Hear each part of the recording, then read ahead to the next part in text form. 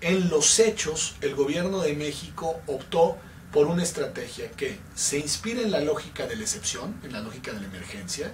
El gobierno mexicano eh, eh, nota, y creo que en eso no se equivoca, que existe una crisis de seguridad severa en el país, esa nadie se la inventa, es un hecho, y a partir de esa crisis propone como alternativa para enfrentarla un modelo de operación en el cual las instituciones de la democracia y del constitucionalismo quedan paralizados. esto se le conoce como la lógica de la emergencia. Es decir, la situación es tan grave que debemos abandonar nuestras instituciones democráticas, debemos ponerle pausa a nuestras libertades, debemos alejarnos de las instituciones del Estado de Derecho para enfrentar con los instrumentos de la guerra, con los instrumentos de las armas, con los instrumentos del ejército a, a la criminalidad.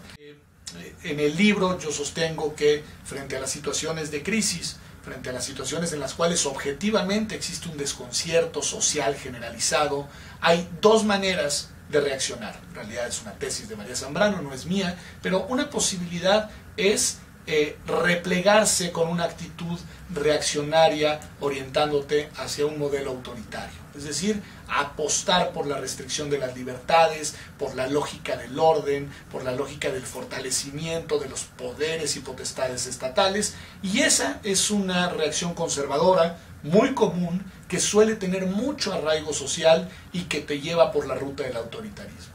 La otra alternativa es una alternativa eh, menos instintiva, es una alternativa que requiere de mayor reflexión y que requiere de mayor compromiso con una ideología, que es la de apostar por las instituciones de la democracia. Es decir, eh, sin desconocer la existencia de la crisis, sin desconocer la gravedad de la emergencia, apostar por enfrentarla a través de las instituciones de la democracia, a través de la prevención, a través de la investigación, a través de la justicia, a través de la paz civilizatoria de los jueces, de las leyes, de los derechos humanos.